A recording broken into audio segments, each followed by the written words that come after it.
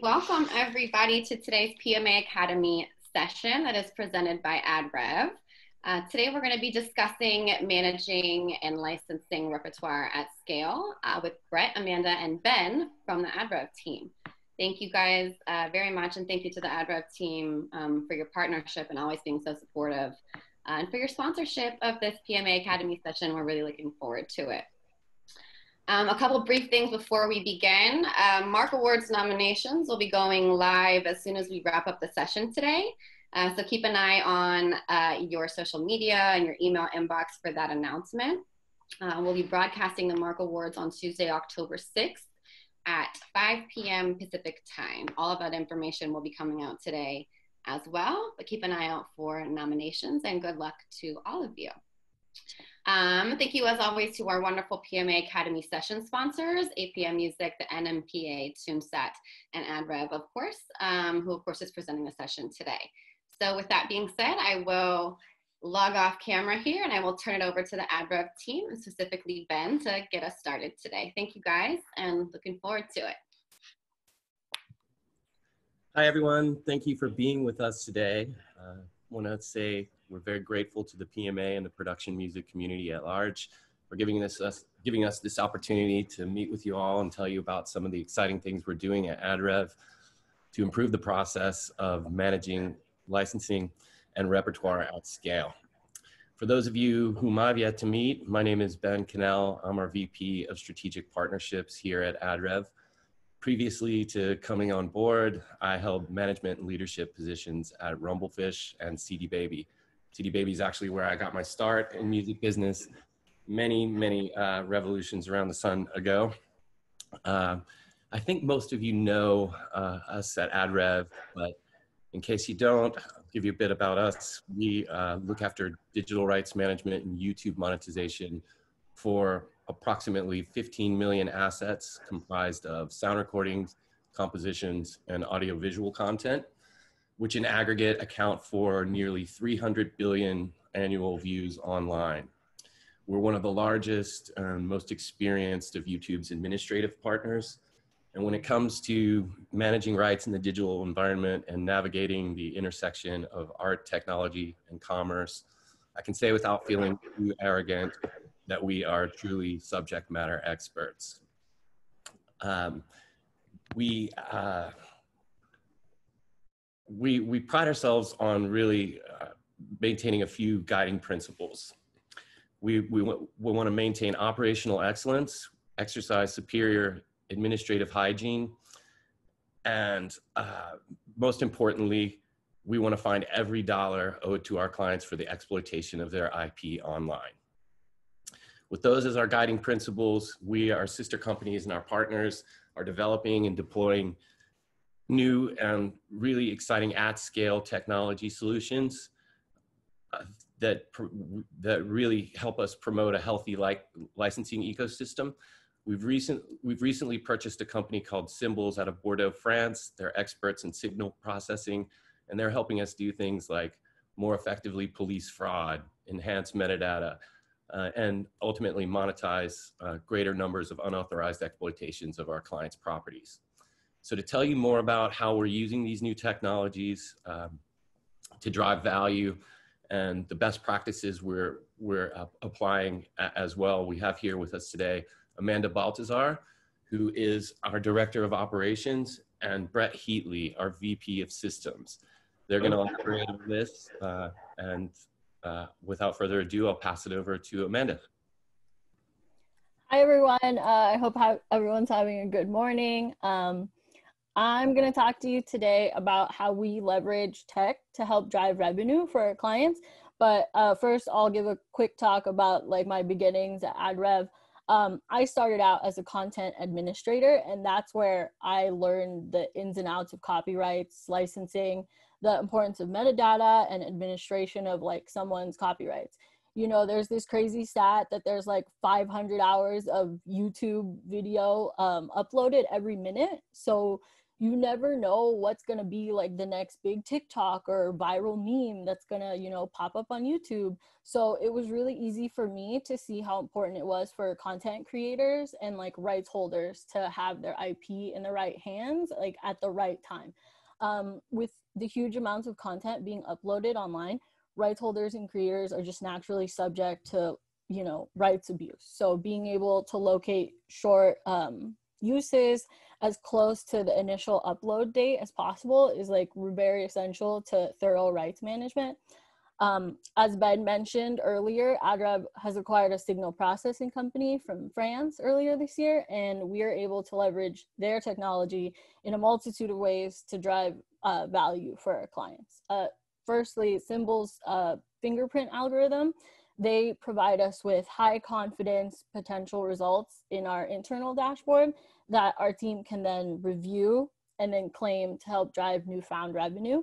Um, I wanted to also share a couple of like really awesome features about our dashboard um, where like our team is able to review um, matches and, and all that great stuff. Um, our dashboard uh, automatically uh, prioritizes high potential revenue videos and being able to work so closely with Symbols allows us to continuously adjust and make improvements in our operations.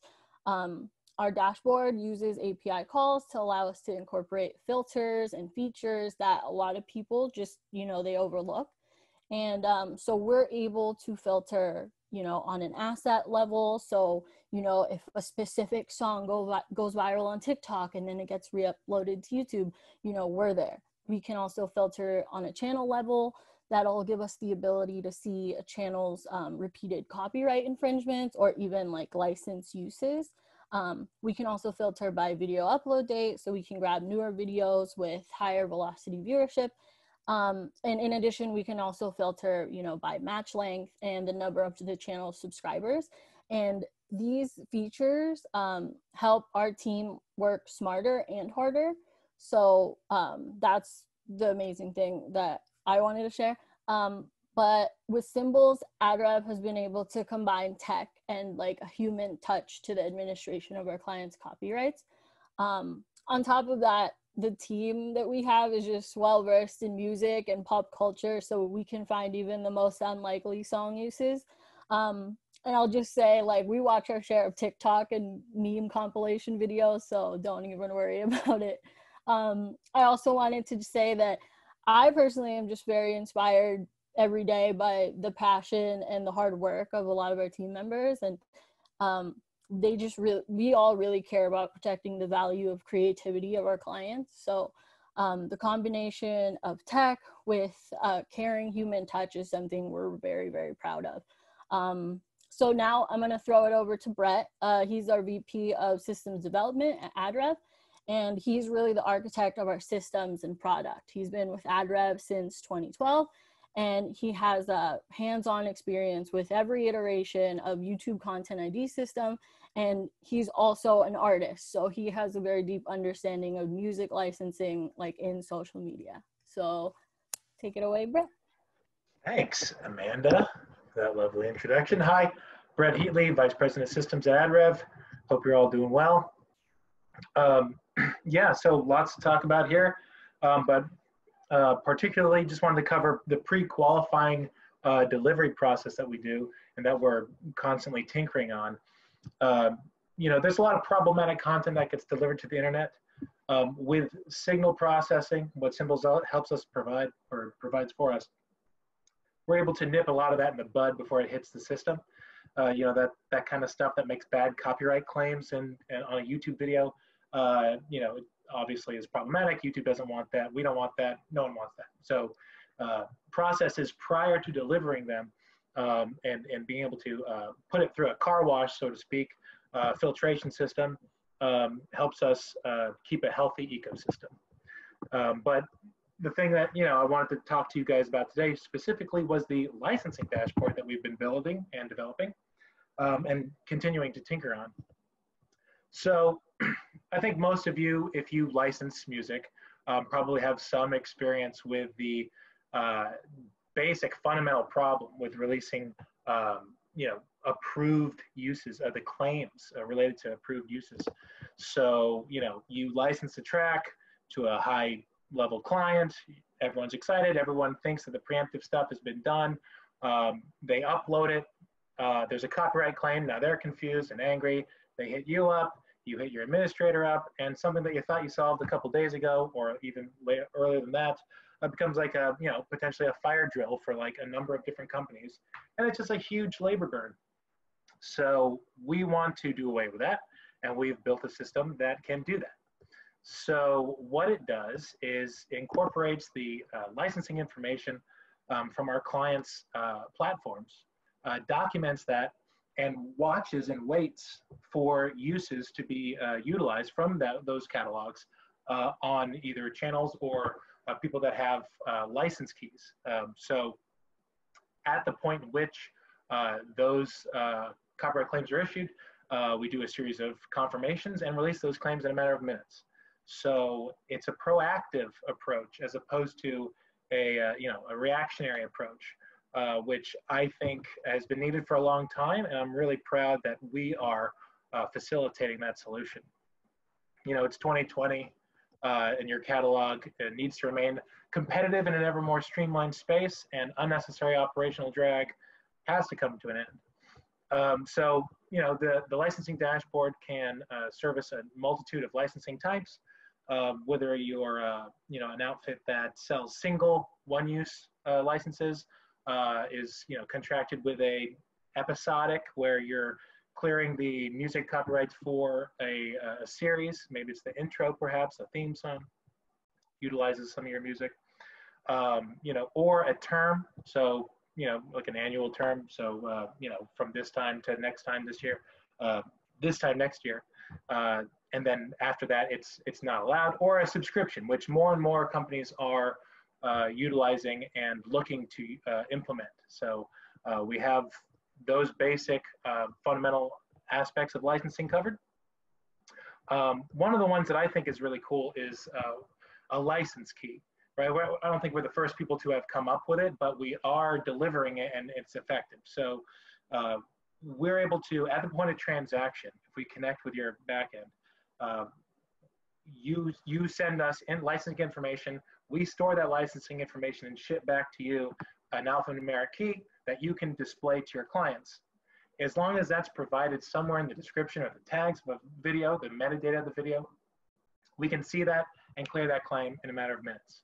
So sometimes like that could be useful for like a video editor who doesn't necessarily know the end, uh, where the, exactly this, the, the, the, the video that he's helped uh, curate the music for, um, where it's gonna land. And so, you know, being able to just utilize a key as opposed to having any uh, specific social media information um, is definitely beneficial. Uh, so yeah, so not only does it release the claims, but it documents that stuff and it captures usage data. So um, that's really important and interesting because, you know, say you're on a you're doing a subscription, and you're you're offering the entire catalog uh, to a multitude of people. Um, you, may be tracking the downloads, but what you might not be tracking is how these songs are being used. Which, you know, if you find out that you know one of your songs is being used in a very particular way, um, and it's popular in that way, or uh, you're noticing a lot of your songs are being used uh, from a certain genre that are used in a certain way that could uh, help guide new business decisions, right? So knowing how your music is being used um, is incredibly useful, uh, particularly with people that are willing to pay money uh, to use your music. Um, some of you have probably heard of whitelisting. Um, it's, it's kind of been the uh, general uh, protection method in the YouTube sphere specifically. Um, that does okay. It's it's okay, but it needs to be improved upon. Uh, improved upon, and uh, there are a few things that make this process better than that. Um, whitelisting's a little antiquated, a little unsophisticated. Um, one of the things I was mentioning earlier is uh, sometimes you may ask for a whitelisted channel, um, and that's done. But there could be administrative ownership conflicts within a system that you're operating in um, that can cause complications. And if not everyone's in the loop on who's allowed to use music and who isn't, um, you may find uh, that a copyright claim happens on something that you thought you did some preemptive work on. Uh, and that's why whitelisting is a little bit, it's not enough, right? So what our system differentiates from that is, yes, it makes a claim, but it's capturing that usage data, which you would not get.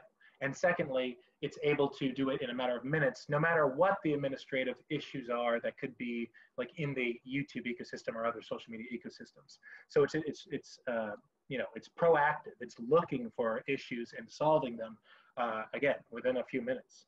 So we're all excited about that and being able to clear out our inbox with uh, emails that seem like they just belong in like the early 2010s and do not belong in the 2020s. Uh, we're happy to be accommodating for that. Um, let's see here, got a few notes. Um, yeah, I mean, the implications of the future, uh, we're constantly, we're constantly tick, uh, tinkering away at this.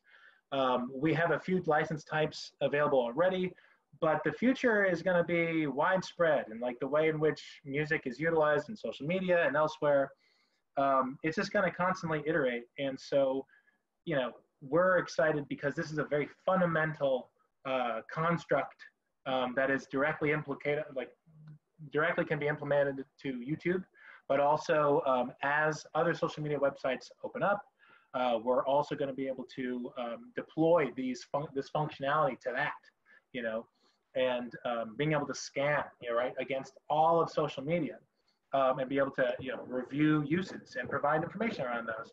That's all coming. That's all in the future. So as a production music library, I would uh, submit to you to start thinking about things in um, really open possibilities. You know, um, the future is not set and, and the, the ways of the past, um, you know, are gonna, uh, it's gonna evolve.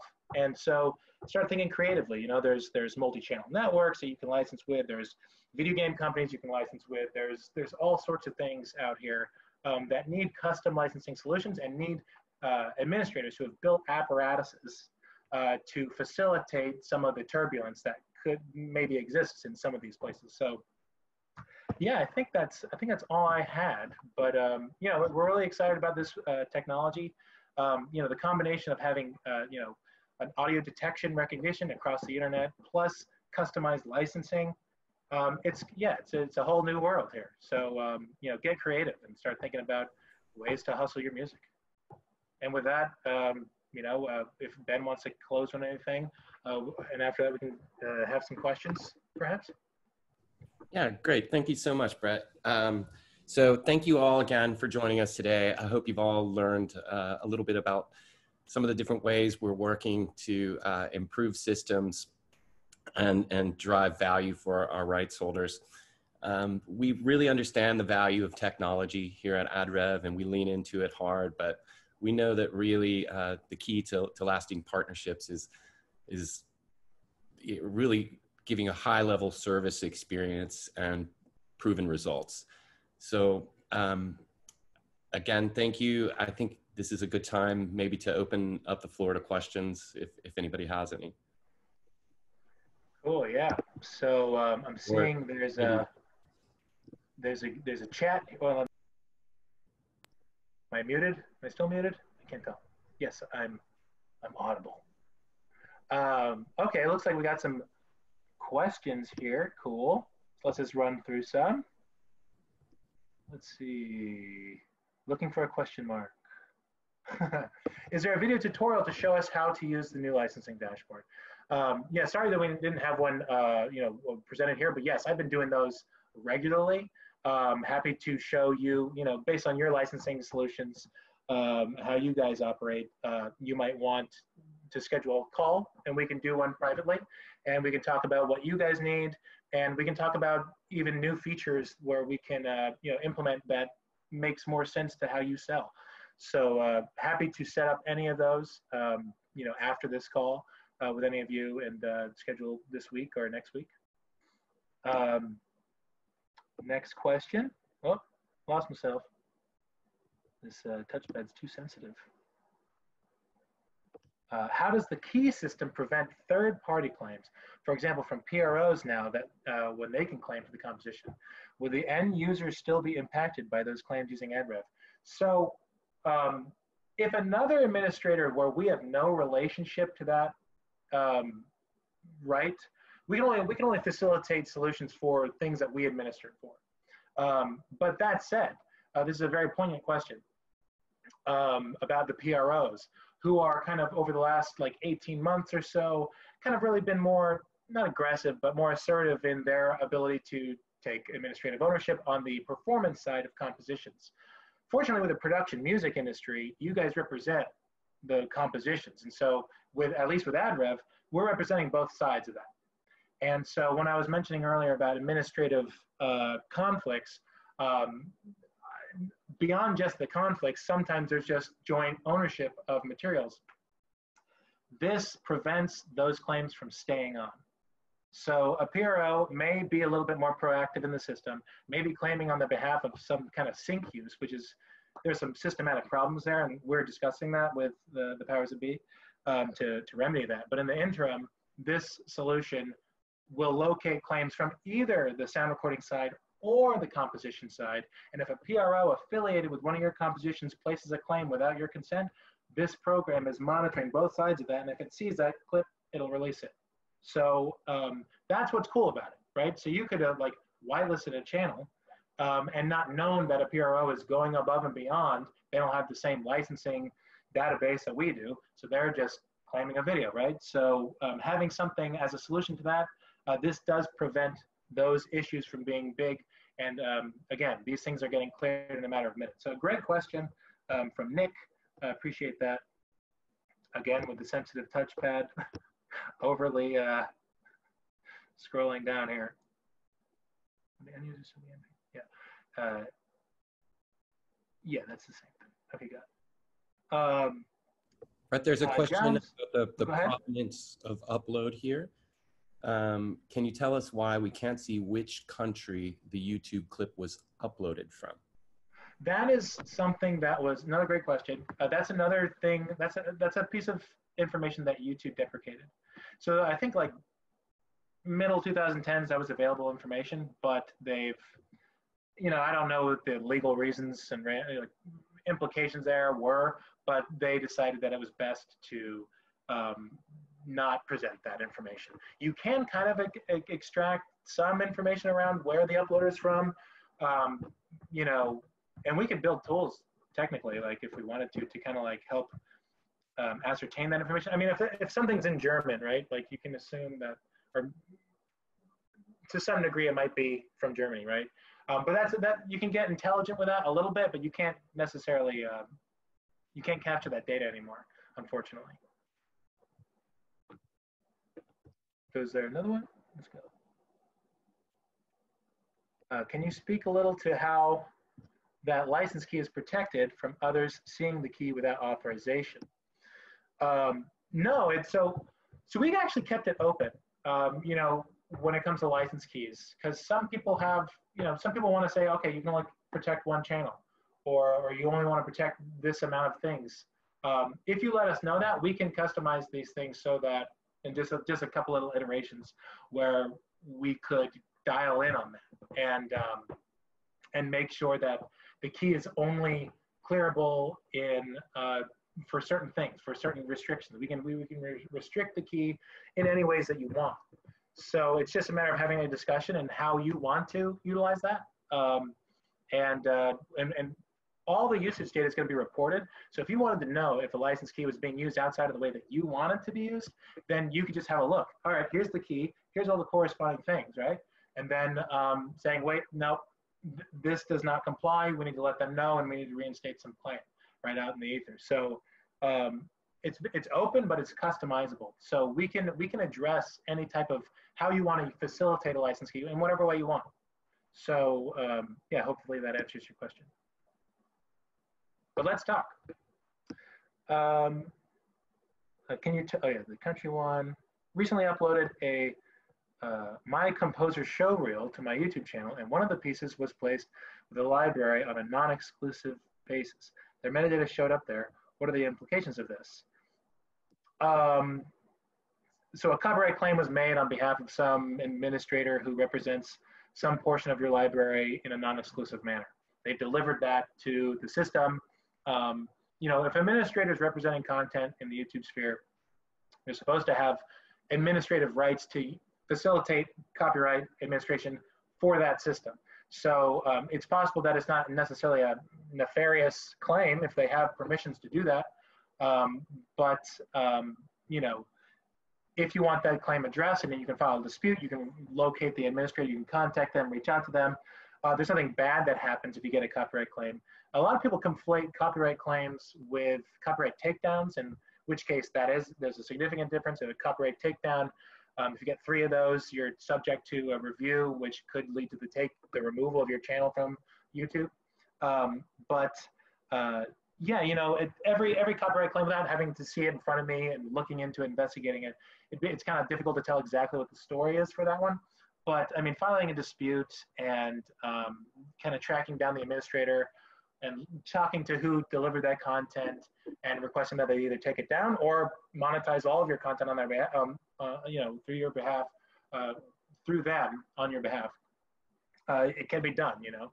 So, you know, it's a general copyright question. It, it happens a lot. A lot of people will be an artist, they upload content.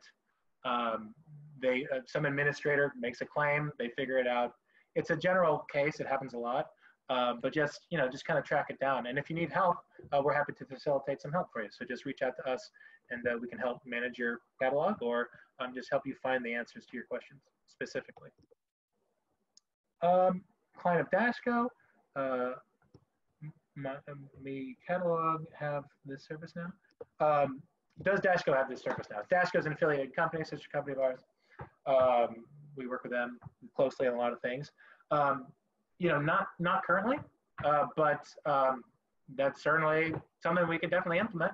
Uh, we could have a conversation with them about that.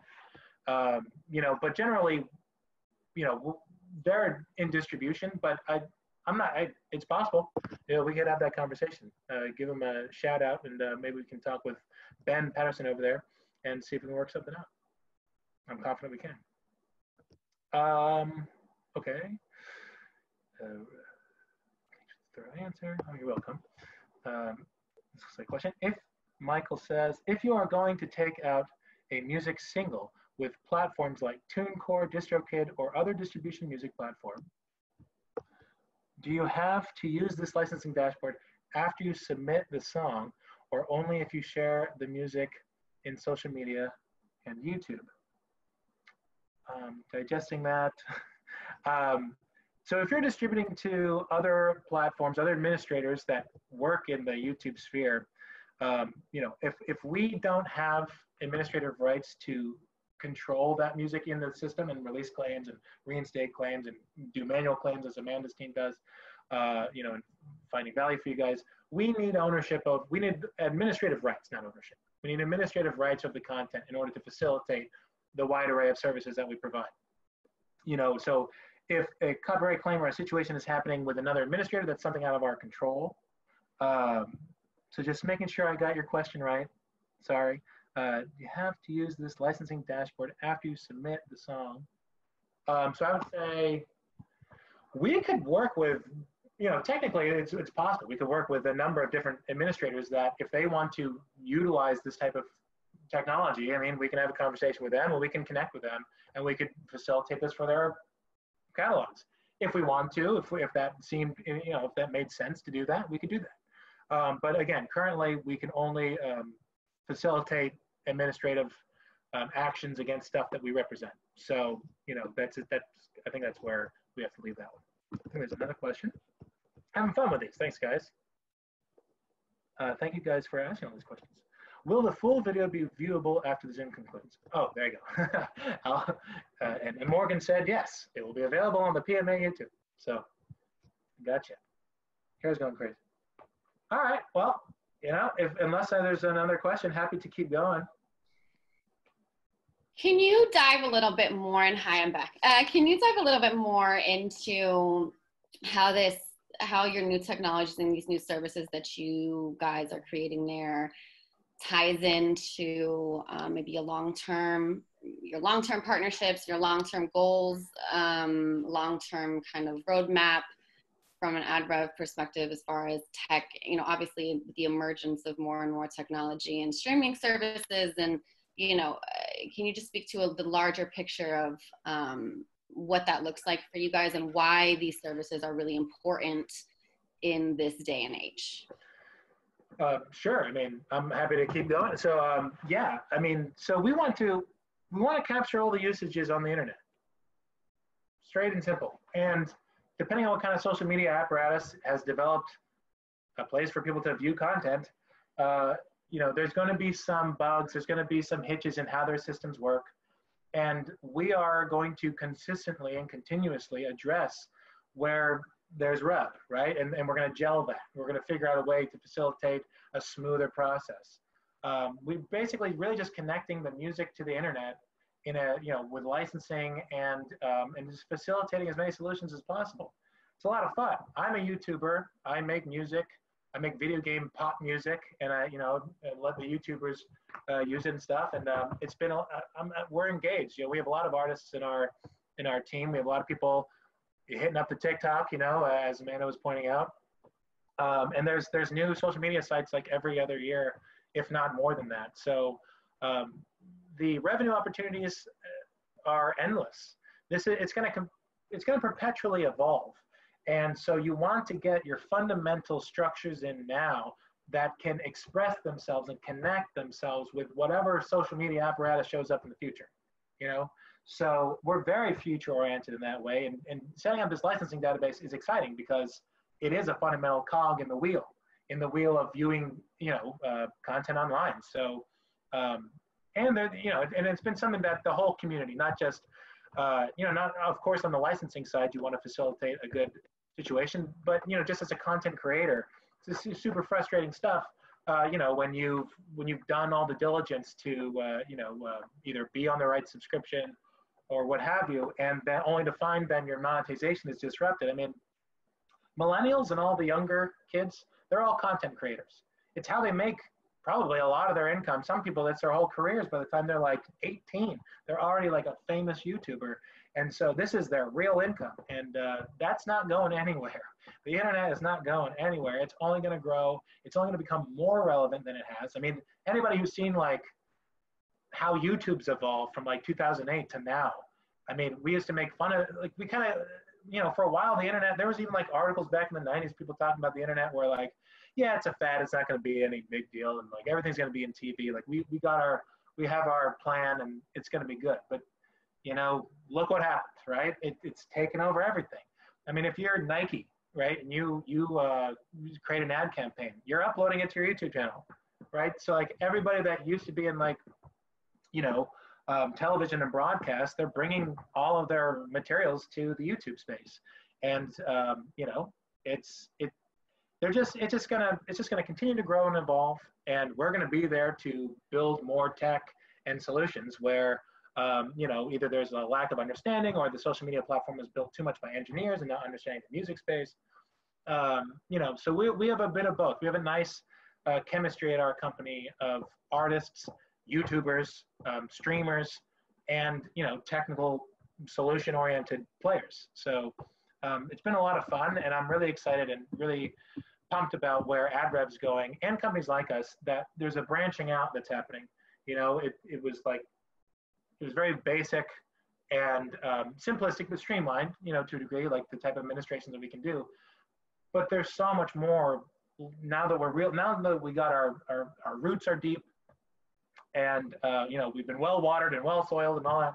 Uh, this tree is is branching, and there's there's going to be more and more to do. Um, you, you, know, the world of remixing, the world of getting authorization from one creator to the next. Um, all these things are going to be able to provide a thicker layer of cream to the internet, and without technical solutions that can help streamline that, where social media apparatuses may not have it all figured out yet, but you have a, but you have companies like ours who get it. Uh, you know, we can create solutions that for things that yet haven't even existed yet. So there, there's a lot, you know, still under the rock, you know, and, or, or rather, um, you know, a lot still to do. So it's a cool time. I'm, I'm very excited about it. Yeah, and to jump in here, just um, to, to tell you a little bit more about how we're using symbols. Uh, in addition to, to using it to find um, greater numbers of, of, um, of claims, we're also we're also using it for large scale uh, rights holders to do some pre-delivery diligence. right? So the symbol system can uh, help detect fraud. It can prevent duplicate uh, content and otherwise problematic content from being delivered into ecosystems where it shouldn't.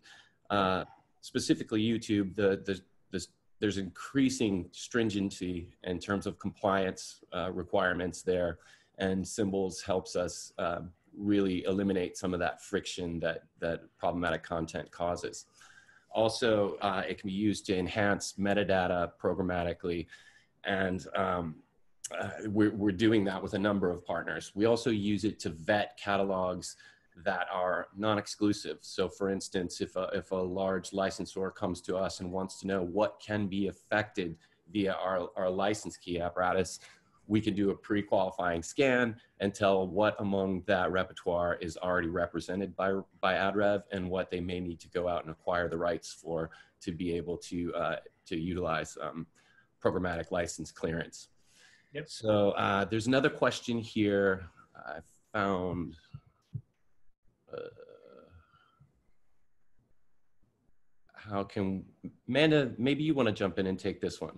Since your technology is able to scour websites, have you ever thought about adding a new service for music creators to help identify usages? Sort of like TuneSat, BMAT. Yeah, sure. I mean, definitely, you know, we're a lot on YouTube right now. That's where it's one of like the top social media platforms and streaming services out there. And you know, we'll be ready when Facebook and Twitter and Instagram are ready to have a more sophisticated system to help, you know, keep all the rights in check. We'll be ready for it. We have the tech and you know, once the capability has been added, we're here. We're ready. So and, and to that end, you know, we're able to scan other social media sites. So mm-hmm. come talk to us, um, you know, after this, uh, and whatever it is that you want done, we can get squared away. And as far as building like a technological service around that, yeah, that's that's on the way for sure. We'll be able to report against others, like all social media. Yeah, so all of, all of the technology we're building and and uh, deploying now is extensible. It's platform agnostic. So as soon as uh, the other platforms open up, and give us some incentive to participate and we can extract value from those platforms, we're ready to, to apply these technologies um, there and, and you know, in, in, into future iterations of social video. On that point, someone asked, or two people asked actually, any update regarding music monetization on Facebook? So if you guys can status update us on uh, Facebook and any other platforms that are significant, that would be helpful. Yeah. Do you want that one, Ben? You take it, Brett. Okay, I know. I mean, it's they're really not too much to say. I mean, they're in the process of it. They had something they're working on for a long time, um, and uh, you know, it's it's still not where it needs to be for like administrators to come in and like very proactively engage with the uses. I mean, we can scan and locate uses, but as far as like a content management system akin to the YouTube space, it's it's not it's not available and functional in that way just yet.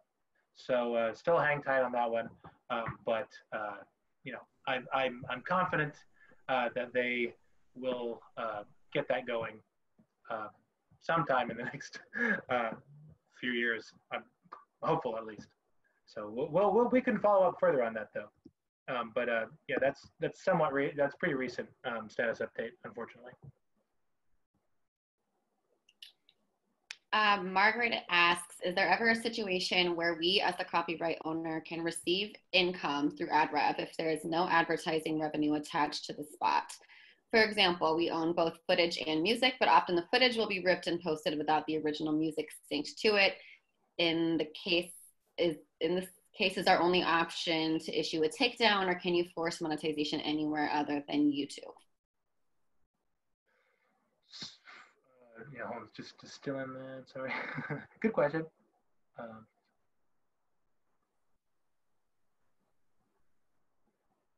well, if you own the audio and the visual, um, we can, you know, we can detect, uh, you know, there, there's visual um, technology uh, available to us um, where we can locate an, a, a, visual component. Um, you know, if, if, you on both sides, uh, that we can locate that and copyright claim against that.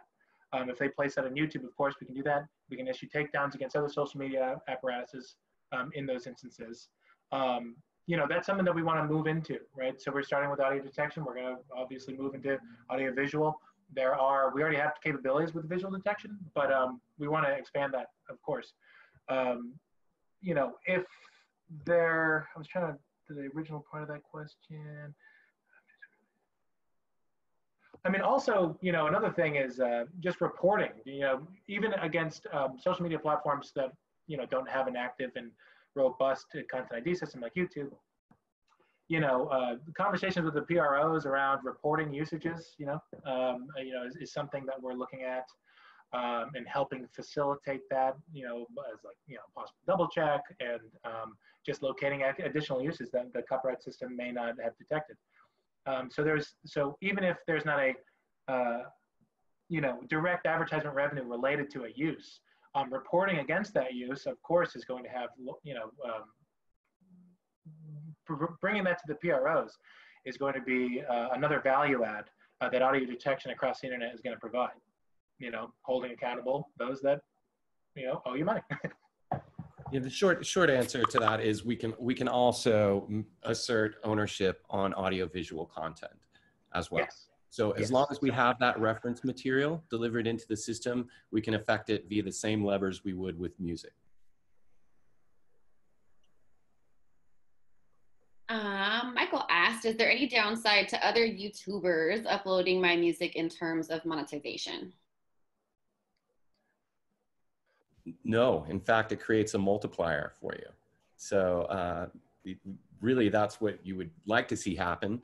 Uh, as many, many, many people using your music um, outside of authorization uh, and only doing it for social currency rather than actual currency so that you can claim it for yourself and get the value of that multiplier.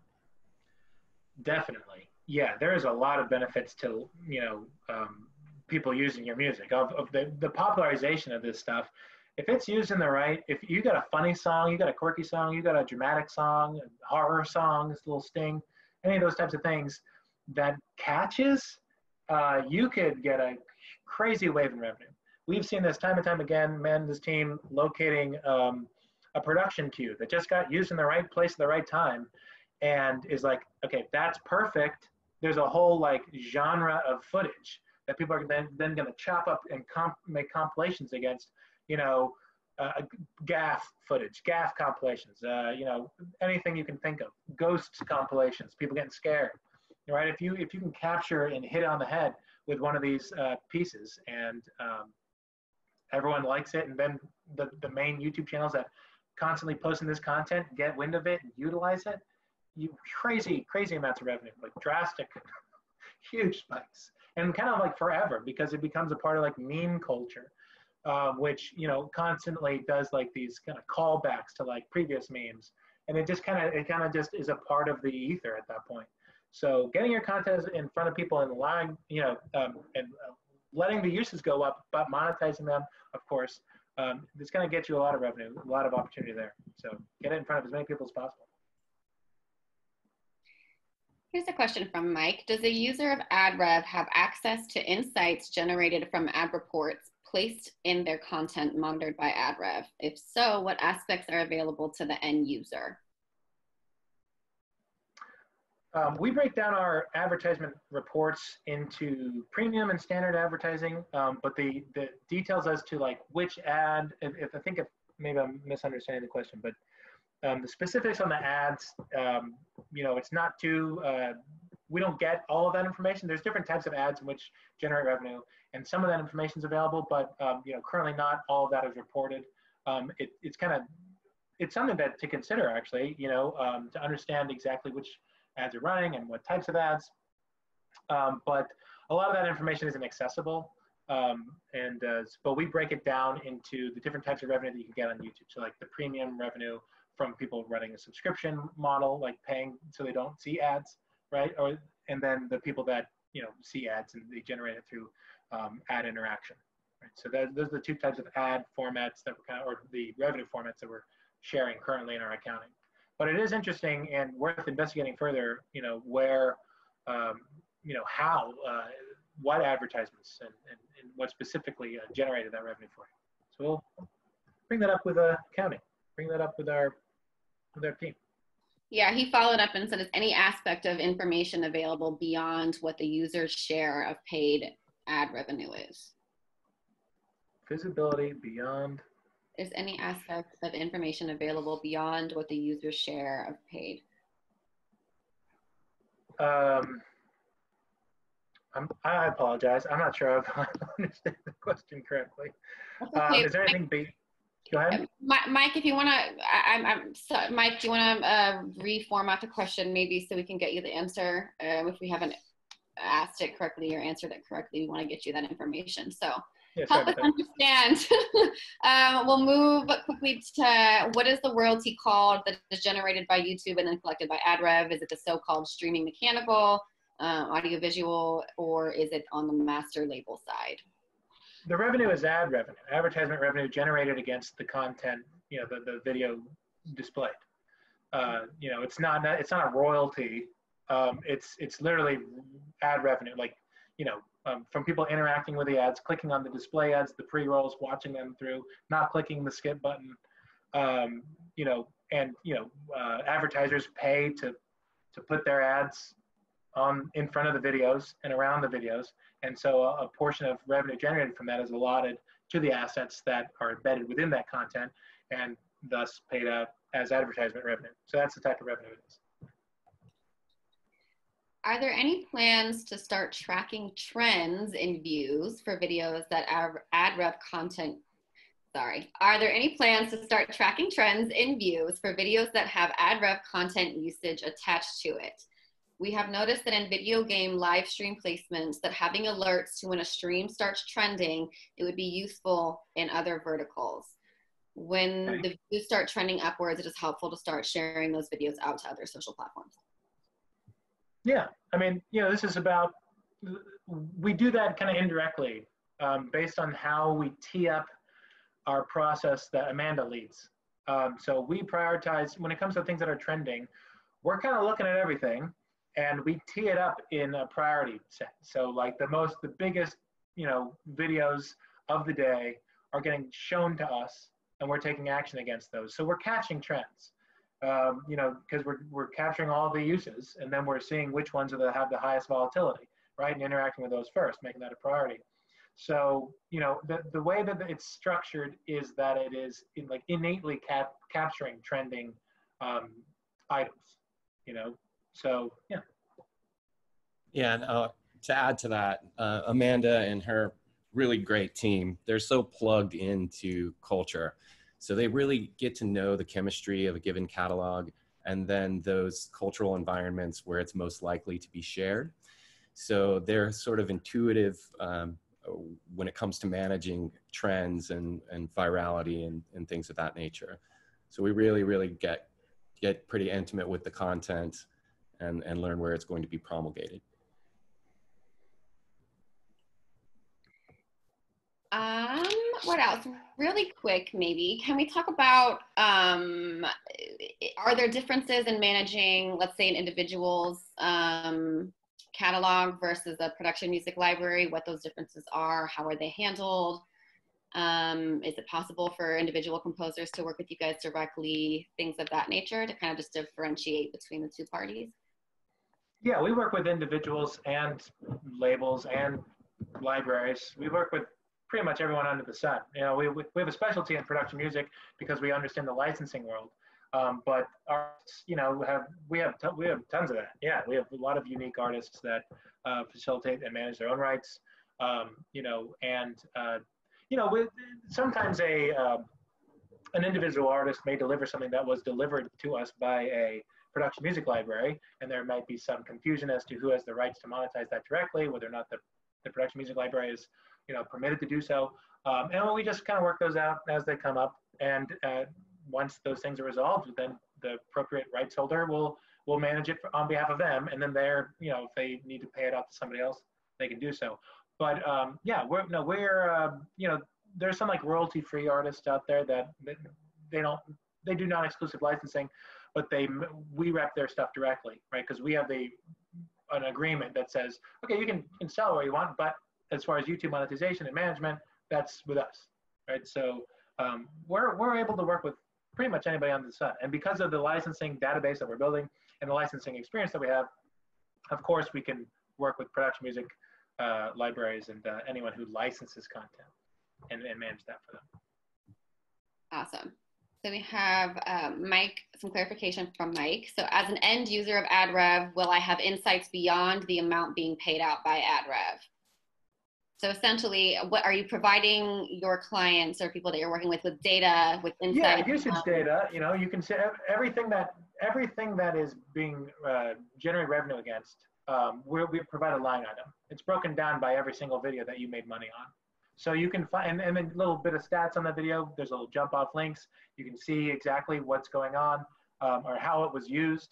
Uh, you know, so yeah, I mean, and you can also see uh, information around, you know, if you have an amendment with us to do the manual claiming stuff, you can see specifically which claims, what revenue came to you by us um, through our additional methods, right? And so you can see exactly like, okay, YouTube caught this amount of um, videos with your content. What did AdRev on top of that catch? You know, and then you can you can break it up by that and say, oh, okay, well, look, like they just made us like a couple extra grand, you know, or whatever, um, based off stuff that YouTube didn't even find. So, um, you know, stuff like that. Data, data related to the earnings that you got, as far as the channels and the videos that embedded your content. That stuff you have access to. You have stats on the video, on the video views, um, and a bunch of jump off links to investigate further if you want. And he says, just to clarify, you cannot see which ads are being played or the demographic of user interacting with the ad. Not yet displayed in our earnings reports, but some of that analytics can be presentable, and uh, you know that's something that we are gearing up to do. Um, we, yeah, we're doing a, we're doing a lot of really cool innovation stuff right now um, even far beyond this. And a lot of it has to do with like dialed in reporting, um, getting very specific with analytics. And um, there's going to be a lot, a lot come down the road. But if there's something you specifically want to see, something that specifically interests you, reach out to us, talk to us about it, and we'll make sure that when we roll out some new analytics features that that is accommodated for. Awesome. About timeline? Timeline on new services that you guys are offering. When can people start contacting you now? When will they go into effect? When all of those things? Can we talk through a timeline and uh, maybe best ways to get in contact with you guys if they are interested in, in pursuing or partnering? Yeah, so we're we're introducing um, clients to this every week. Uh, we're kind of doing like a little bit of a soft launch with it. I guess now we're kind of like declaring it to a degree. We might do something more um, later, but um, it's available now. It's functional now. It's fully functional now. Um, and uh, we're, we're, we're ready to take on uh, clients uh, for this purpose. Yeah, automated licensing uh, clearance has already been launched. We've, we've got uh, several clients already uh, using the service. We can also provide the deduplication services, anti-fraud services, metadata enhancement, and um, and of course our core services uh, right now. So um, we're working with several large scale clients, um, and uh, it's it's been going very very well. So if anybody wants to to contact us about any of the, the these services, please uh, hit Brett or I up anytime. Um, I'm ben.kihnel at adrev.net and uh, happy to talk you through it. We can give you a demo. Um, anytime you like. Yeah. Hey, we had one person ask how much the service costs and what the agreement's like, but Ozzy, I think you'll take that offline. Um, connect with Brett or Ben, and they are happy to get you that information and see if they can help you for sure. Um, and I've just posted both of your guys' email addresses into the chat.